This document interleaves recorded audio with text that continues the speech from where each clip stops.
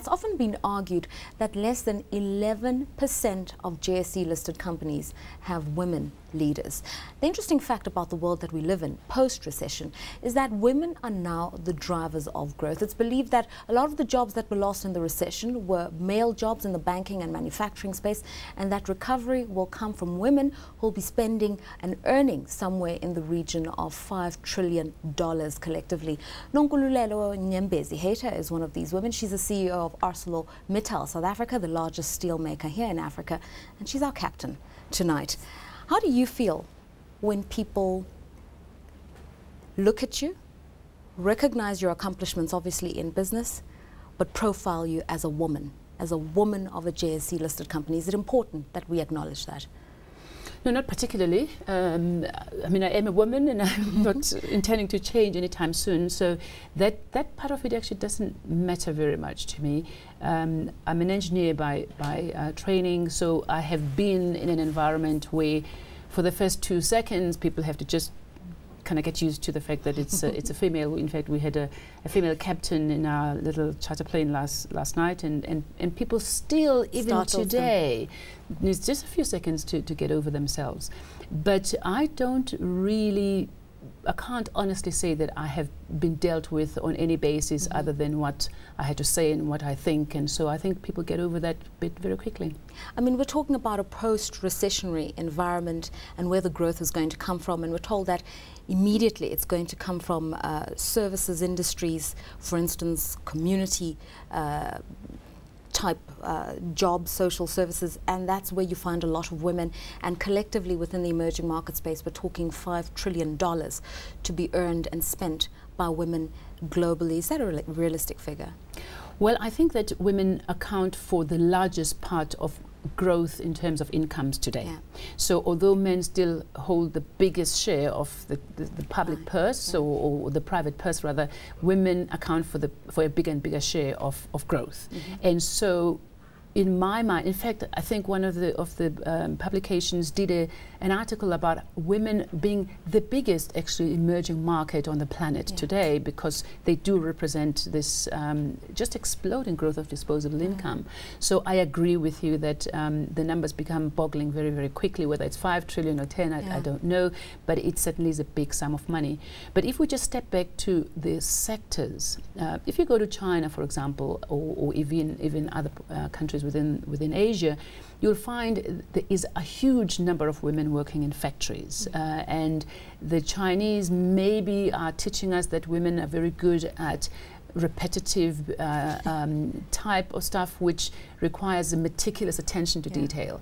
So there is nothing to say we shouldn't be seeing more and more women enter our factories. And in fact, right. at ArcelorMittal South Africa, in the latest crop of new learnerships that we've taken on, we've had an, an unbelievable mm -hmm. proportion of women then there's a bit of a disconnect because I'm talking here about statistics that come from organizations like the Business uh, Women's Association and despite all the attempts at gender parity in South Africa, not a lot of listed companies have women leaders. I mean, you're held up as the beacon of light. Uh, that's just one of you in a sea of women who are active in an economy. What's the problem here? Well, I think the problem is time um, because women essentially are entering as relative uh, newcomers in a space that's been dominated by men for a very long time. Now, how many companies are uh, on the on the JSE listed on the JSE? Maybe 600.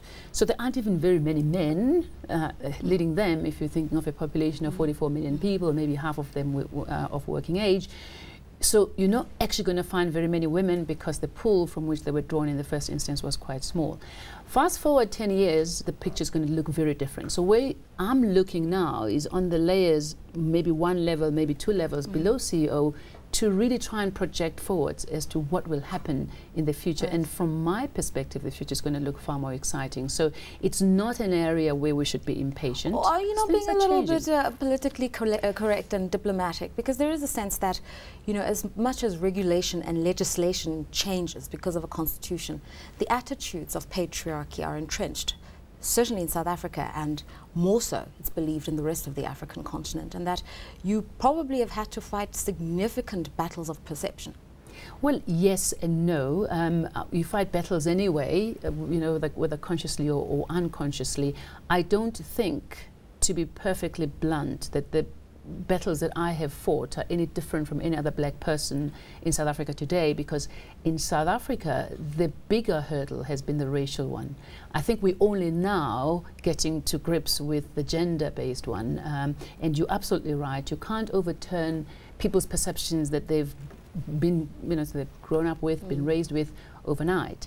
And that still persists today. You just have to open up any, any newspaper. So I'm not um, by any means putting that aside as a very real hurdle that people have to cross. Mm -hmm. I'm just saying that there are enough people crossing enough hurdles on a daily basis for there to be a reason for optimism about right. the future um, without necessarily diminishing the, the, the, right. the, magnitude of the challenge today. That racial hurdle, talk to us about your experiences because not only has your career uh, been a success in South Africa. You've started a company from scratch, IBM, uh, in Namibia, run that. Uh, you've studied and worked in the United Kingdom.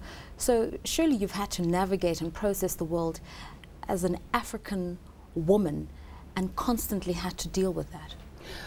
Well, I must say that I've always thought I've just been one of those lucky people who seem to um, find a way to fit into the cracks. Um, I suppose the fact that um, I studied engineering at a time when not many women, white or black, uh, chose that particular path meant that I didn't have very much competition. So if there is a lesson for anybody else out there is try and find something where it isn't quite so competitive. Uh, and usually those things require hard work because right. people don't necessarily sign up for that. I personally um, can't say that I've had particular hurdles in my in my way. Mm -hmm. And so I think I have been lucky and I'm maybe dodging your question, but I don't have a better answer than that. Clearly hard work um, and just being fanatical about excellence and I've always held myself to a punishing standard of, um, of competence and capability. So if you would study for two hours in order to get into a presentation knowing all the facts, I'll do it for four. Yeah. Um, so, so luck does need a little bit of, of, a, of, a, helping hand in terms of hard work, but, but really um, there are people who draw mm. the, lucky, the lucky straw. Who's been your biggest inspiration in business?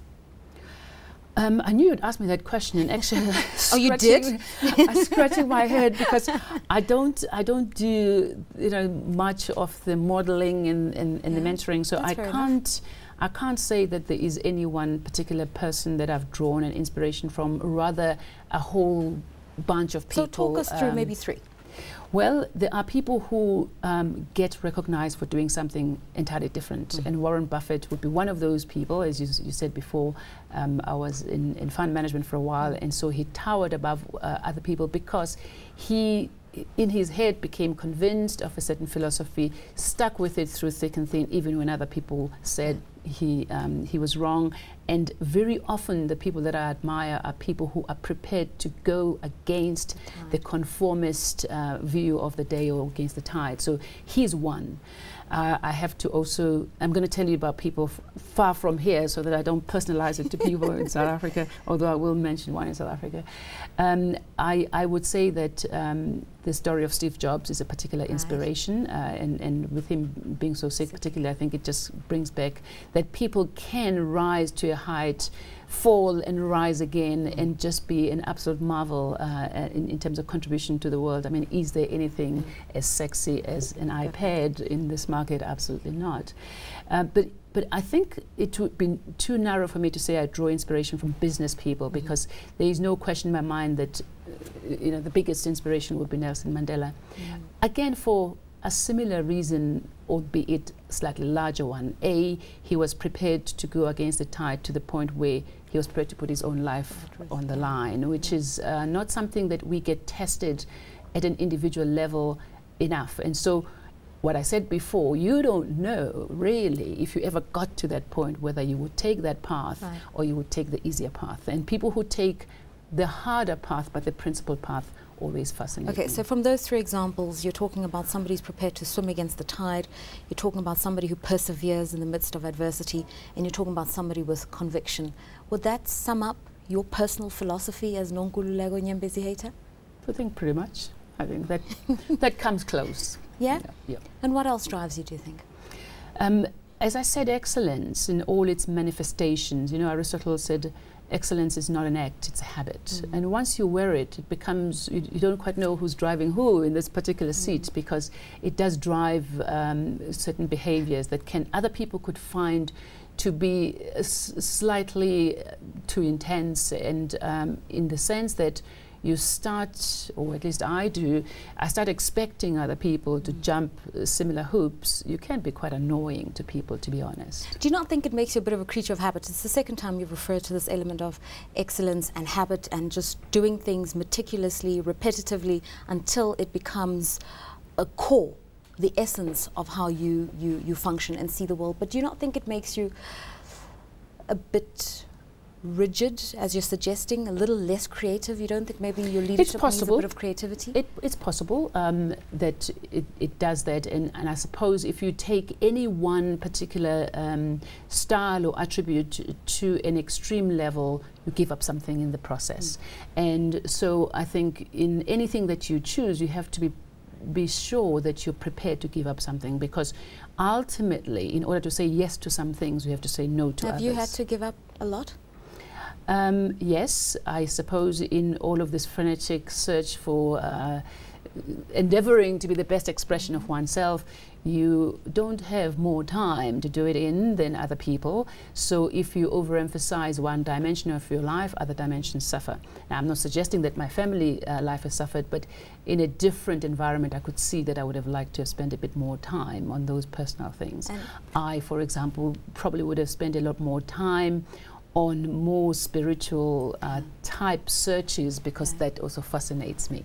Um, I fully believe that people present in, in many dimensions and to just look at a single dimension also doesn't tell the full story.